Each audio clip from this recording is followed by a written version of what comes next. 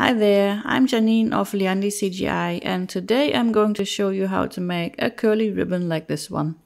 Or a streamer, or a serpentine, whatever you want to call it. I can't take full credit for this method, it was actually one of my followers on Instagram who suggested I try using a plane and a screw modifier. So thanks. Alright, so let's start by adding a plane.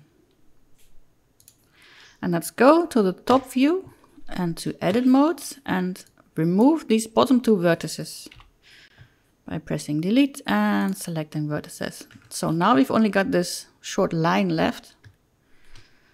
Next, let's go to the modifiers tab and add a screw modifier. We need to set it to X and now we can adjust the screw distance. Maybe make it a little longer even. And then we can adjust the angle. And now as you can see, we need more subdivisions and that's what these two settings are for, for the viewport and the render. Let's try setting this to 100 for both. Okay. We could even add a little more rotations and we might need more subdivisions. So let's try setting this to 200. Let's check in the wireframe mode. Yeah, I think that's fine. Okay.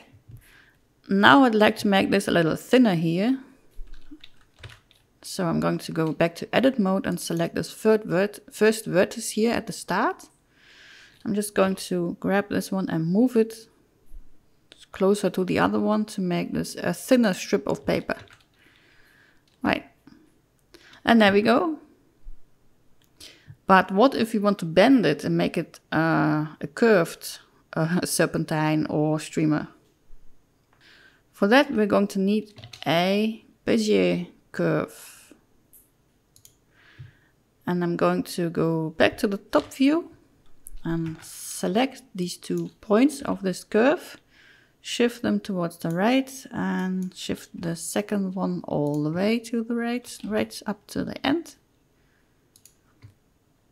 And I'm going to rotate the first one to straighten out this curve. Okay. Now I'm going to press A to select both points and just going to subdivide the curve once. So now, so now that we've got a point in the middle as well. And using this point, we can hopefully, if I do it correctly, bend the uh, streamer. This curly ribbon. All right, so let's leave edit mode, select the ribbon and let's add a curve modifier. And in here, select the Bezier curve. And now let's select the curve, go back to edit mode and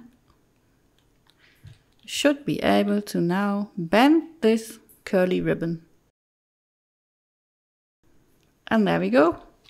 That's how you can make a bendable curly ribbon or streamer or serpentine in Blender. If you enjoyed this video, give it a like and don't forget to subscribe and hit the bell. Until next time, bye bye!